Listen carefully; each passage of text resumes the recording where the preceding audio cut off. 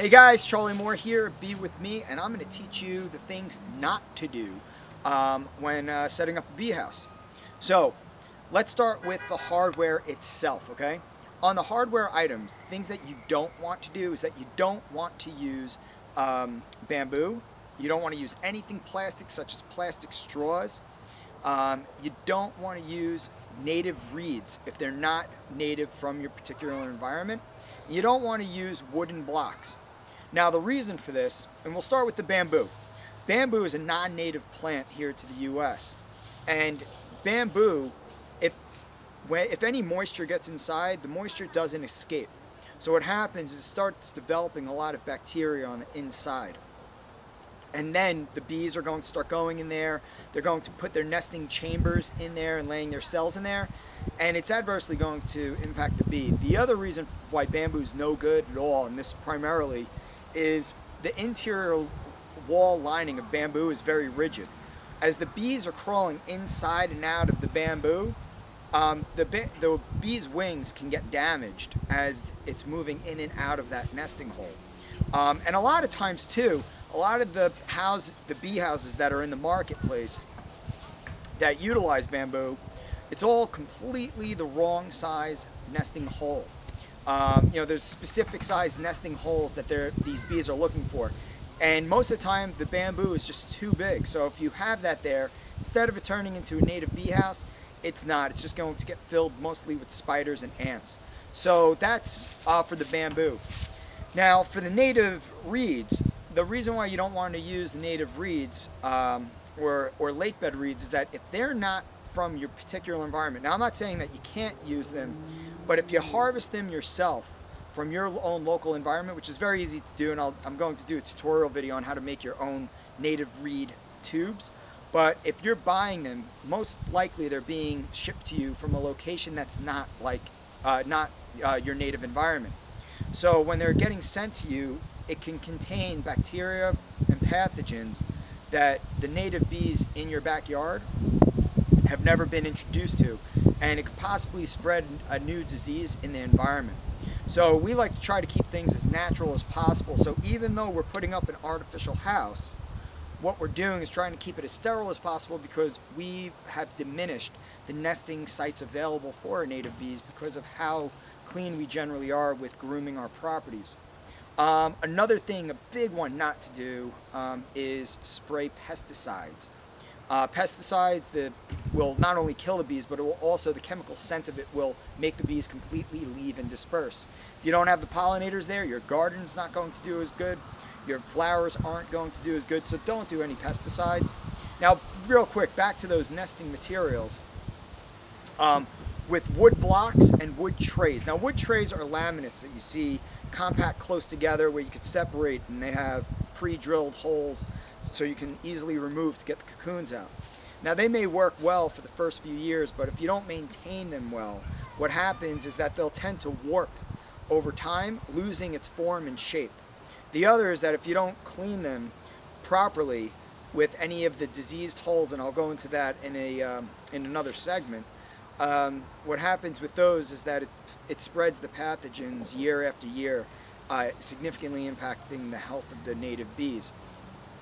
So you want to have as sterile as possible um, and non-chemical um, nesting tubes.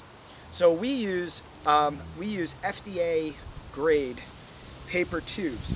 So these paper tubes, they come from an FDA facility uh, we make them to spec, so you're going to have an 8 millimeter, a 6 millimeter, and a 4 millimeter hole. This is an 8 millimeter particularly. And these are the hole sizes that of the thousand plus hole nesting above ground bees, these are the sizes that they're looking for to nest in. Anything less than 4 millimeter, not really. Anything more than 8 millimeter, not really. Um, and then there's a fallacy too, that spring bees use 8 millimeter holes and summer bees use a 6 millimeter hole It's absolutely not true. You have, of those thousand species, they all emerge at different periods of time, from early spring through late summer. And all of these bees, and especially regionalized, they're all different sizes and based on different seasons. So you might have a mason bee, for instance, come out in, in the in the summertime. Um, you may have what's known as the summer bee. Um, you know, use an eight millimeter hole. So having that diversity of holes, the size holes inside of your nesting house is going to optimize the, uh, to attract the different native species of bees that are looking for a nesting site. Now, what other things that you should not do? So outside of not doing, um, not spraying any chemicals, try to stay stay away from any hybridized plants that don't create any pollen. As much as much as and as beautiful as they look, if they're not creating any pollen, you're not really helping anything for the native bees. So you really want to focus on the key points to just making your yard as ecologically healthy as possible and as natural as possible, really letting the order of things happen. So the big points are proper nesting materials, okay? Making sure your nesting material is protected by an outer house, such as this, where no rain will get inside because of the overhang. Um, and um, and use the proper nesting materials as well. That, that, that's I can't say that enough. I mean, even with the drilled blocks of wood, again, over time, if there's any diseased bees that are using that drilled hole inside, that disease is staying in there. So every time that new bee is going inside of there, it's spreading that pathogen around. Um, and the most important thing do not do is do not buy bees. Do not buy cocoons. They're now becoming more and more readily available commercially. And the problem is that out of all the commercial bees available, there's only one species, one species of the thousand plus species being sold that's actually native to the United States.